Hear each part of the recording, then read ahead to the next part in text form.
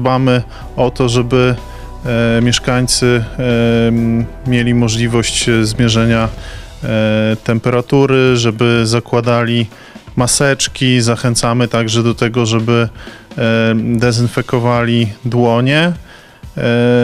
Dbamy o to przy spotkaniach, żeby utrzymywać pewien dystans społeczny. No i też gorąco zachęcam mieszkańców do tego, żeby e, te sprawy, które można załatwić e, drogą telefoniczną, e-mailową, żeby to w ten sposób czynić.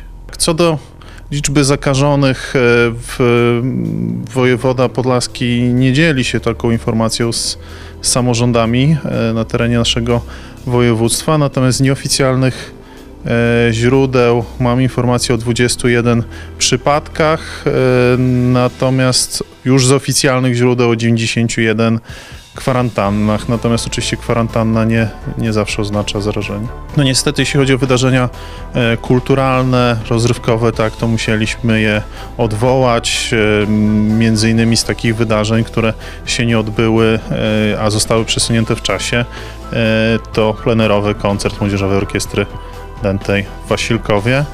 E, No i te obostrzenia są istotne, faktycznie no, ograniczają możliwość organizacji wydarzeń, eventów dla naszych mieszkańców.